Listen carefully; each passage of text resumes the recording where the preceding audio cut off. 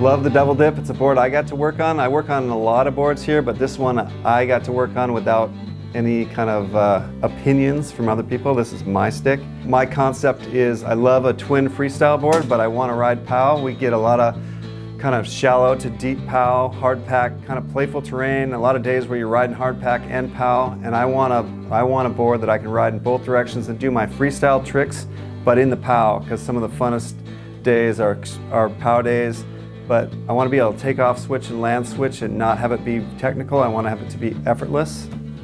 And so that's what the double dip's all about. It's a C2, it's floaty, it's got a big nose, floaty nose, and a big floaty tail. So it ends up having a short edge contact, so you want to ride it longer than you, than you would a normal board, so you have a little edge contact on hardpack. So I ride the 64, and normally I would ride a 59, so about five, six centimeters longer.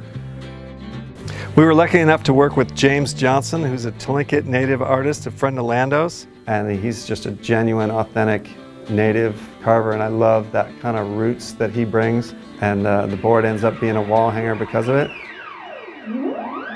Handcrafted in the USA near Canada at the world's most environmental sandwich factory. Thank you.